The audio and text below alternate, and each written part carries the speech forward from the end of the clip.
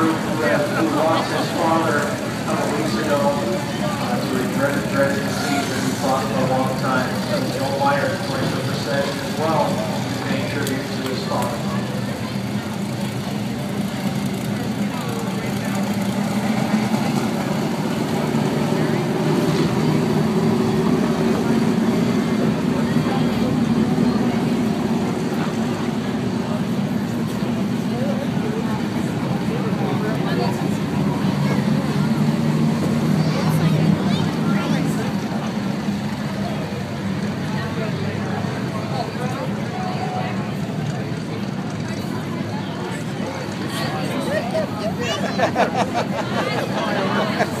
Good timing.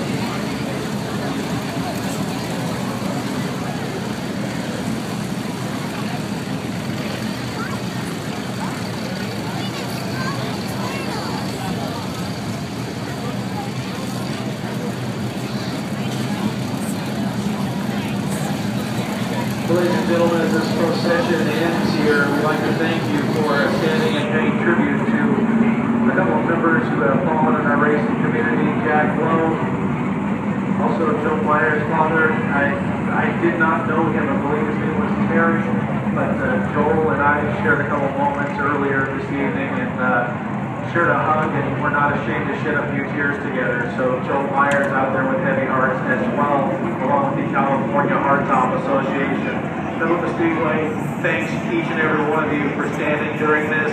And uh, it's almost time to go main event racing, which I think will be uh, very cleansing and very, very good for the soul.